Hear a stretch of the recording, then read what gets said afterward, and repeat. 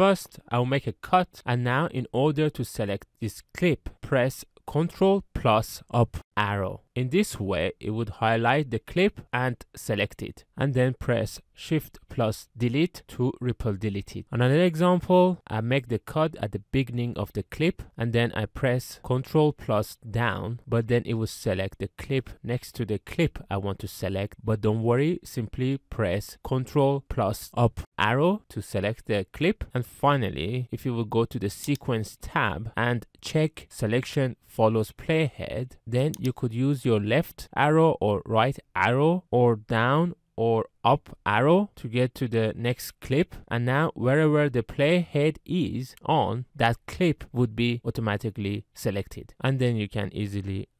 delete it the only drawback is you won't be able to delete a gap using this method to be able to delete gaps and more please watch my other videos on the screen and if this video was helpful please don't forget to subscribe and like to help others find this video